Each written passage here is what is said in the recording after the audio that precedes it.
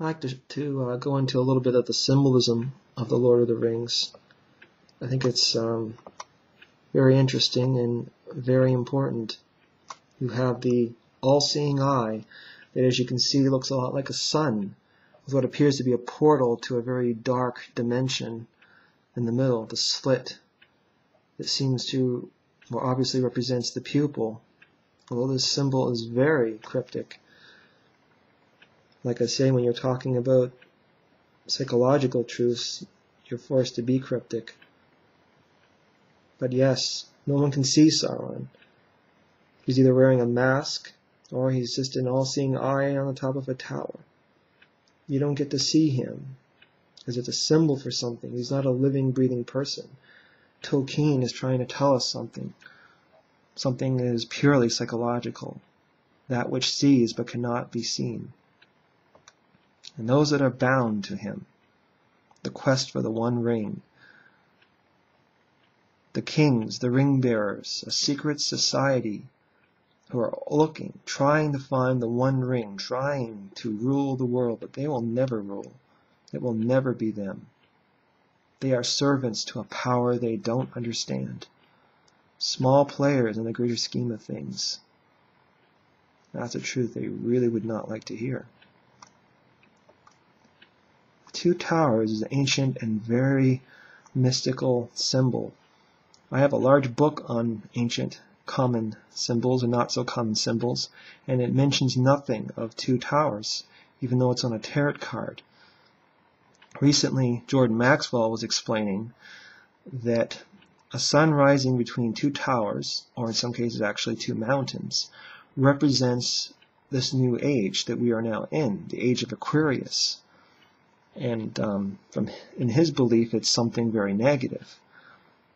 Um, although personally, from my understanding at the time, it's not necessarily something negative. However, the two towers, I think, is when the negative comes into it. If you look at this image very carefully, you see a sun, although it's mysterious and it's hidden, they managed to work in a sun between the two towers the Tower of Sauron, and the Tower of Saruman, which is the closest one. You have the Tower of Saruman, it's close, who was a wizard helping to look over the world, protect the world, and then in the distance you have the new tower, the Tower of Sauron, who is going to try to um, control the world in a new age of darkness. So you have an old tower power and a new tower of power and the sun in the middle. The rising of a new age, cutting an invisible line. And think about it, it's, it's in between. You have a tower of power of the past and a tower of power for the future. Out with the old, in with the new. And what are insiders, supposed insiders, witnesses for the New World Order, Illuminati subjects, um, what have they been talking about? The collapse of an old power and a handing over of power to a new group, a new Illuminati. And what is this symbol telling us? Exactly that. From my perspective, that's what this symbol means. I'm not saying I'm absolutely right, but this is my opinion. And this is the hero of our time. A solitary man, in darkness, unappreciated, misunderstood. The warriors that are being appreciated are fighting wars that should not be fought. They're unjust. So this man does not go and fight in a war because they're unjust. The real battle against the real enemy is not being fought yet. And so he does not become, you know, the king, a symbol of greatness, because he is forced to wait until the right time before he can do anything.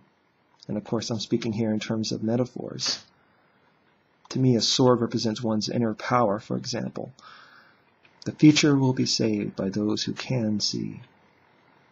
The eyes of truth, because they are open, and they are taking in what is, for all its beauty, and all its hurt, and all its horror.